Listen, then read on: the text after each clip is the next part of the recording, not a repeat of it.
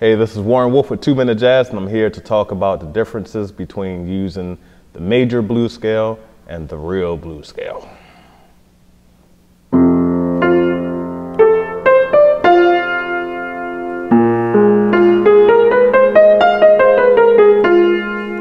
So what you're hearing is basically the first one. You're hearing like a F uh, pentatonic scale. But you can always make it a little bit bluesier if you just take the third, the A, and drop it down to an A flat. Then go to the, to the third, to the fifth, to the sixth or 13, back to the root.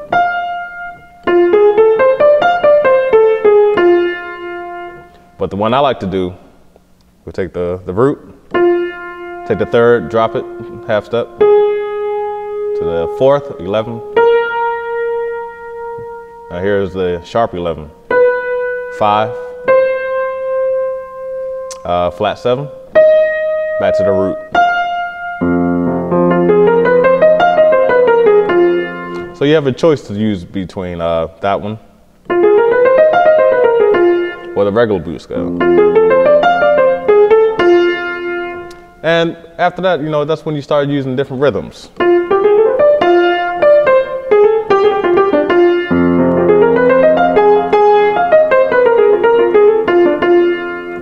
So here's one chorus of blues using the first example I gave you.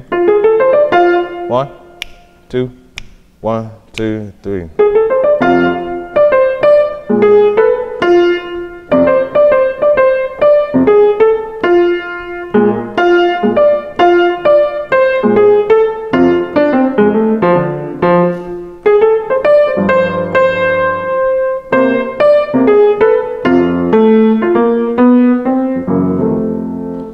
And here's one more chorus using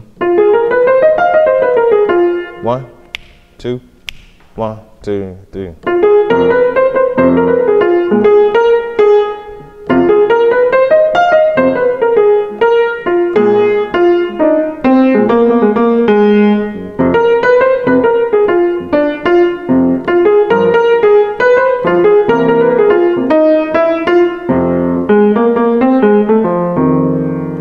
And here's one more chorus, just combining the two so you can really get that true blues effect. One, two, one, two, three.